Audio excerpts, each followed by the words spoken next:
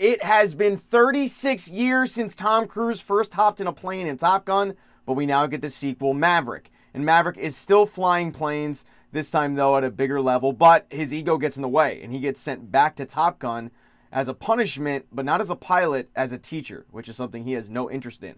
And one of the students he has to teach is Rooster, who happens to be his former wingman Goose's son. He has to get Rooster and a bunch of his classmates ready for a top secret, very difficult mission, something that probably only Maverick could complete.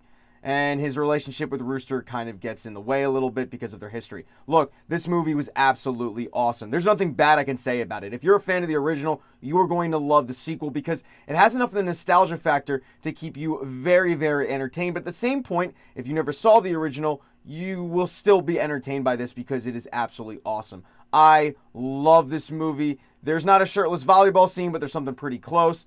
Definitely go check out Maverick when it hits theaters. Now's the part of the video where I ask you guys to please subscribe to the channel. Hit thumbs up if you like this. Smash that thumbs down button if you do not want to be my wingman. Subscribe to my Patreon. There's a link in the bio for that. Uh, thank you so much to everybody for checking this out. And definitely go check out Maverick. It is worth your money for sure.